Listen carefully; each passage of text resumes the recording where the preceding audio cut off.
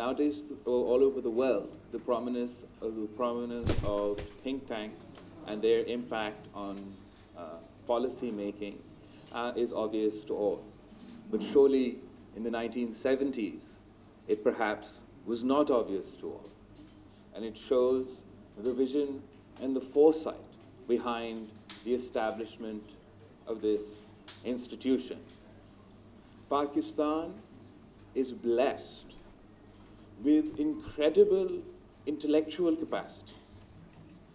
Our uh, intelligentsia, our civil society, our uh, educational institutions uh, produced a, a, a, a metaphorical uh, army of thinkers.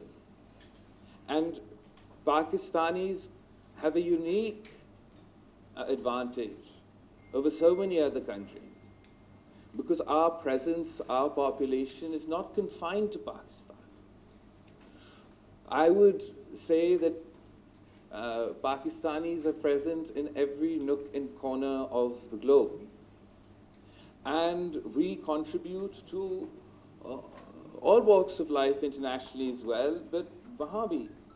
Uh, Pakistani students, uh, I was one uh, far recently, far more recently than much of you, uh, uh, are a large segment of the population of international students at any given university in the United Kingdom, in the United States, and even in many universities in the East.